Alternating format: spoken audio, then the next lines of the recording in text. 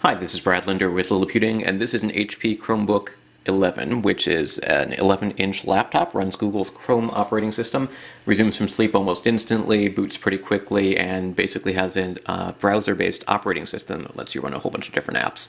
I've been testing it for the last couple of days and using just sort of the software that came with it out of the box, but I wanted to show how you can also enter uh, recovery mode and developer mode if you wanted to load other software on it or uh, make other changes. So um, the instructions basically say hit escape, refresh, and the power button at the same time. I believe you might have to do that while powering it up, but that would be escape, refresh, and power.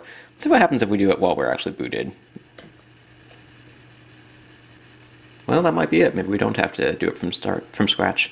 So now it says uh, Chrome OS is missing or damaged. Please insert a recovery USB. Uh, what I'm going to do instead is actually hit Control D to turn off OS uh, verification.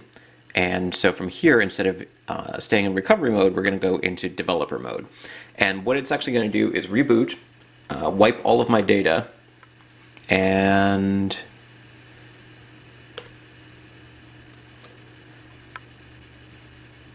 change this into a developer device. So basically, you can see here it says starting in 30 seconds. Uh, it's going to go ahead and sort of reformat everything, wipe all the uh, data that I've installed, and I'll have to log in all over again. And um, the good news is, because it's a Chrome OS device, it's not going to require me to reinstall any apps. Basically, anything I installed previously, it'll say, oh, okay, these are the apps and extensions that, uh, that Brad Linder was using, and it'll go ahead and uh, restore them. I wonder if I can dim this. Nope. So, um,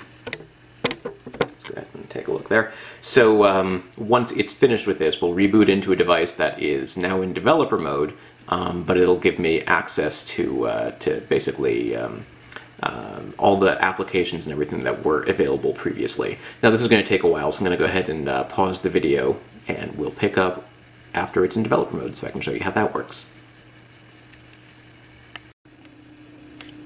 And we're back. Now about 10 minutes have passed and it's almost finished preparing developer mode, and then it should reboot into Chrome OS.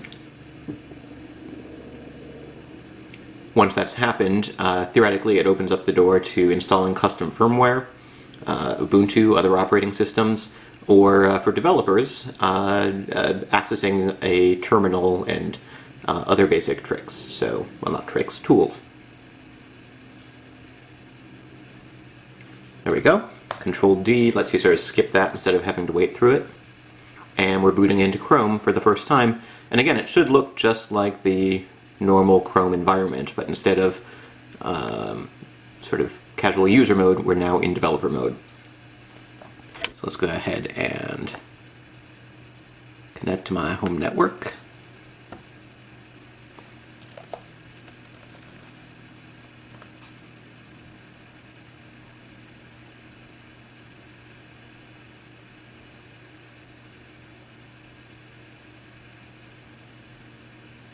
Continue.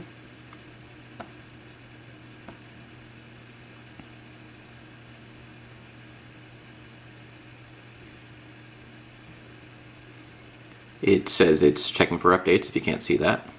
And now I'm going to sign in with my Google credentials. Let's do that off screen. Actually, I need to grab my phone for two-step authentication.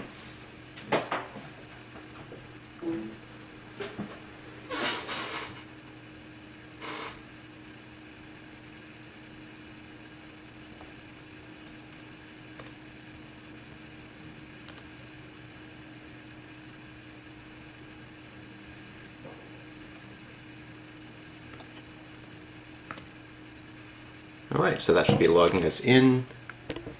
And it'll take a couple of moments to download all of the uh, extensions and applications and other things that I have associated with my Google Chrome OS account, but basically we are up and running. You can see it's already populating with apps, and I can load the web browser, and uh, we're pretty close to where we were before. If there were any files saved on your local storage, uh, they'll be gone. So you want to back those up before entering developer mode. But otherwise, we basically got a usable system here. Uh, it's being a little bit slow just because, as I said, it's still actually in the process of downloading everything. I just wanted to show you that we are connected to the internet.